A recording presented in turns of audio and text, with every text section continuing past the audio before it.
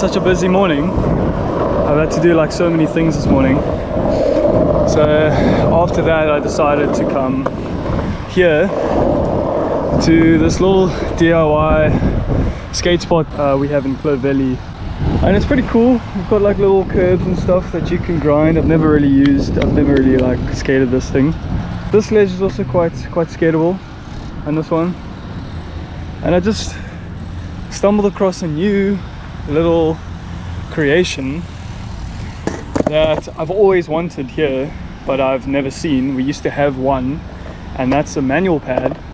And the manual pad we had is just like a, a full-on straight piece of wood with like a, a bit of brick underneath. And I've seen they've made quite a nice manual pad out of concrete.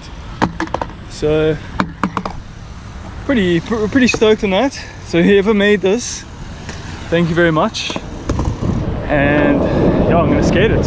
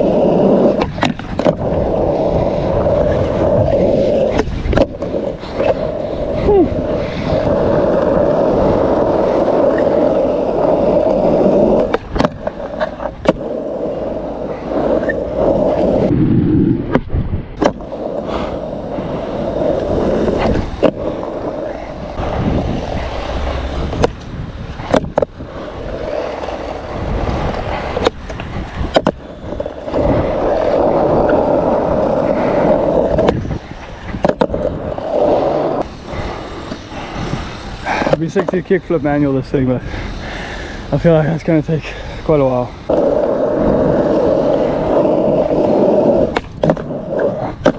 Ah.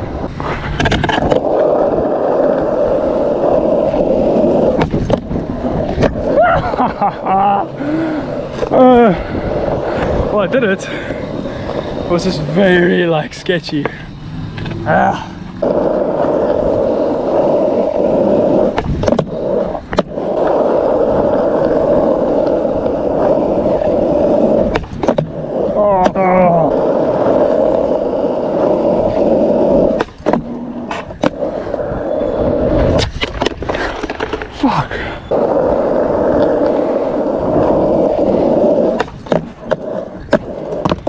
It's such a sweet spot that I'm like not really getting into. It's like as soon as I kickflip, I mustn't lean too back and lean too forward. You kind of like lean right in the middle so then when the board comes, you are literally like balanced perfectly on a manual. And to get that timing right and to get that balance right while you're jumping is like so difficult. But like yeah the more you do it the more like luckier and luckier you kind of get. But yo once i get this i know how nice this feels. So it's gonna be worth it